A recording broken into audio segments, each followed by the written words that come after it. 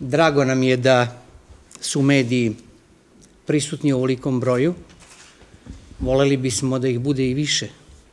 I voleli bismo i da nas javni servis prati više, ali pošto smo, zahvaljujući mladom Milenkoviću i njegovim saradnicima uspeli da se izborimo za Evropsku predstavnicu kulture, valjda će nas uočiti i beogradski mediji malo više.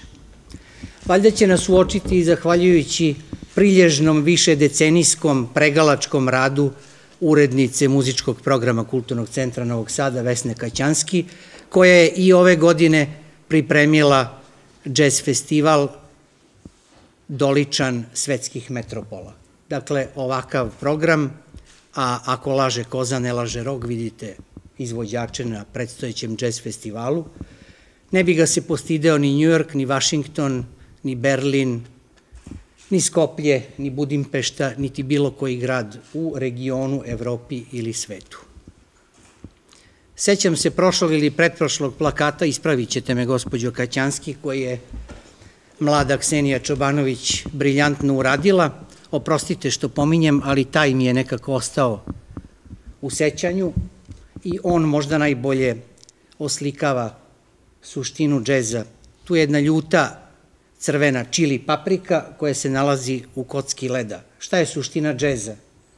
Da ta sloboda, razbarušenost, kosmopolitizam rastače svaku uštogljenost, konvencionalizam, uskogrudost, gledanje preko nišana, naročito na našim balkanskim prostorima.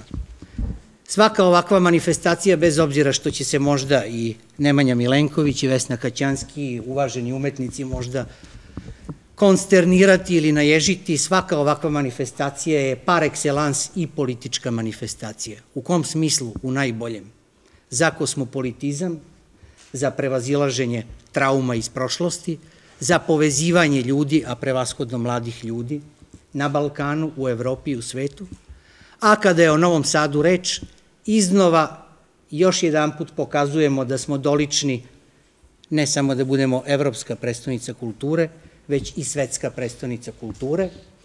Pomešat ćemo malo žanrove, podsjetit ću vas da je u ovaj kulturni centar, kulturni centar Novog Sada u minulih dve i po tri godine na poziv šefova književnog programa Kulturnog centra Novog Sada su ovde bili i nagrade iz ruku naših urednika primili Pamuk, Ljosa i Hanke. Dakle, nemojmo se kretati u okvirima komplimenata, poređajte samo činjenice na sto pa procenite sami. Molim uvažene medije da korektno, kvalitetno i dolično prenesu ono što će se dešavati ovde. Naravno da su rejtinzi često podignuti kada se govori ko se i kako i u kojoj meri razgolitio u Miločeru, koja pevačica, i naravno da se rejtinzi podižu ako su se neki političari dohvatili pa se pljuju i raspravljaju, ali fokusirajte malo pažnju, možda će rejting našeg duha, možda će rejting našeg obrazovanja, možda će rejting ulaganja u mlade generacije biti mnogo, mnogo viši ako poslušamo pažljivo šta će reći i šta su pripremili i kako će i šta izvoditi uvaženi umetnici ne samo na Novosadskom jazz festivalu, već i sve ono što nas čeka i ono što sledi do famozne, to nije ironično, nego autentično 2021. godine, kada ćemo biti ono što su maštali studenti davno, Beograd je svet i jeste i neka je i treba da bude, ali i Novi Sad je svet zahvaljujući